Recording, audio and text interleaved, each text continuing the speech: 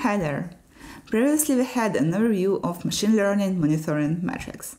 Now let's discuss key considerations for machine learning monitoring setup.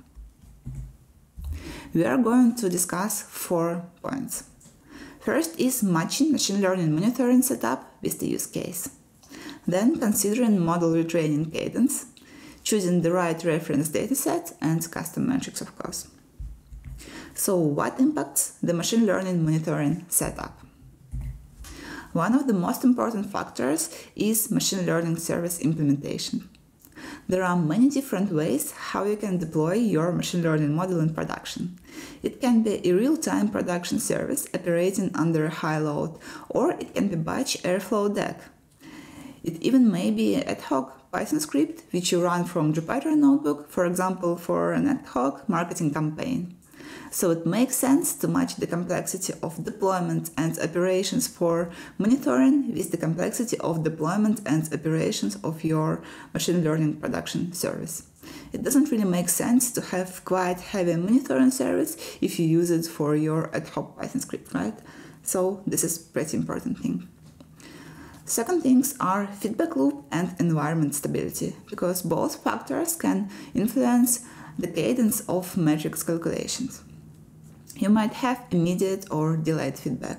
You might have very stable environment or very fast changing. And in this case, you might decide whether you want to have a real-time metrics calculations or maybe you prefer to calculate your metric in a daily basis or maybe on an hourly basis, weekly basis, whatever suits you most.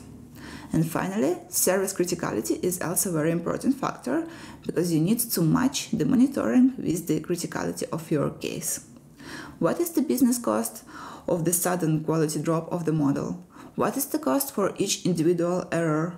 All those questions can help you to figure out what are the most important risks you want to mitigate with help of monitoring and decide on the scope of metrics and monitoring setup in general. Less important topic to discuss is model retraining approach because quite often engineers tend to bind the retraining process with the monitoring. It does make a lot of sense because during the monitoring you measure a lot of quality metrics, data quality metrics and well, even data drift. And you might to set up the automated action like model retraining depend on the alerts you received from different metrics. For example, you might want to run retraining when the model's quality drop. But be careful here, because if you have very well automated retraining process together with the testing and deployment, you totally can do that. But in many cases, there might be quite a lot of things which prevent you from the automated retraining. For example, you might need to run your models against quite heavy approval process, or maybe there are some regulations which prevent you from the automatic deployment. Maybe the testing procedure is quite tough and manual, so in this case you might want to totally split the monitoring from retraining. As usual, it's very use case specific. Imagine a situation where you have quite a lot of production machine learning models. Very lucky, right? And if each model uses quite a lot of different features, numerical, categorical, date time, or maybe some unstructured features like text features, maybe some images or videos, and you need to set up data quality and data integrity monitoring, oh, it even sounds tough because you need to come up with the metrics for each feature, right? And you need to come up with the metric conditions on which to raise an alert and when manually it does take quite a lot of time. Instead of doing this, you might use the following strategy. Maybe it's much easier for you to create a reference dataset where you are happy with the model performance and data quality. And every time you receive a new batch of data, you might compare this new batch of data with your reference dataset and decide whether the differences are too drastic. In this case, you will need to invest quite a lot of time into selecting and curating this reference dataset, because in this case, it is as important as choosing the right metrics, right? And there are quite a lot of options you might also consider. First of all, you need to make sure that your reference dataset is representative. So it should include some expected data patterns and maybe you even might want to add some corner cases. Actually, you can have one reference dataset, a single one which you use for um, many different metrics, or you might have different reference datasets. For example, one reference dataset which you use for data quality and data drift calculation, and the other reference dataset which you use for model performance calculation. Or maybe you might use uh, the moving window strategy. For example, recreate your reference dataset using some automated functions daily or maybe weekly. It's also a strategy. For data drift calculation, you might have um, different reference data sets. For example, one uh, for the daily calculations and one for weekly calculations. For example, if you have strong seasonality. So it's quite open and you might make use of different reference data sets based on the problem statement and known properties of your data. Quite often, reference dataset serves as a baseline for distribution comparison, and in this case, consider having many different datasets for different data types. Finally, I want to quickly touch a point of custom machine learning monitoring metrics.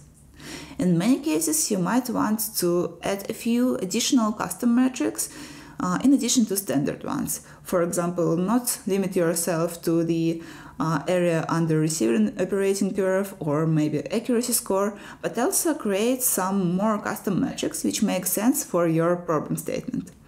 It may be some use case specific quality metrics, like for example lift at 10%, which is quite popular in telecommunications for churn prediction.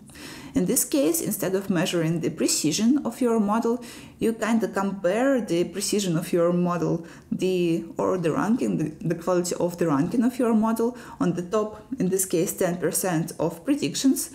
Uh, against the precision on random predictions, right? So it's kind of this relative score. You can come up with some nice heuristics uh, that correlates with the quality of your model. For example, instead of or together with quality metrics, you might measure something like share of predictions which are higher than some specific threshold. You might add up some business quality metrics or KPIs, for example, like estimated savings. Or if you monitor for data drift, you can even use some custom drift detection methods. No need to limit yourself to statistical tests, especially if it's totally non-relevant for your problem statement. You can use any distance function to compare your distributions. So feel free to create something which makes sense to your problem statement and to your data properties. Let's sum up. There are quite a lot of considerations we need to take into account while designing monitoring setup for machine learning models. First of all, you need to match machine learning monitoring setup to the use case. In terms of complexity, in terms of metrics calculation schedule, in terms of the amount of alerts, all of this should be reasonable. You might want to consider binding your retraining with the monitoring, or maybe it's not relevant for you. It's all very case specific. Instead of selecting the right thresholds for each matrix, you might use the strategy with curating the reference dataset and using the strategy uh, like comparing the properties of the new batches of data with your reference dataset. And you might have many reference datasets. And finally, you don't have to limit yourself to standard quality or performance metrics, but you can come up with any custom metrics which make sense for your problem statement. Make sure your monitoring setup really solves your problem and help you to figure out what's going on with your production model and keep them safe and sound. Our next topic will be machine learning monitoring architecture.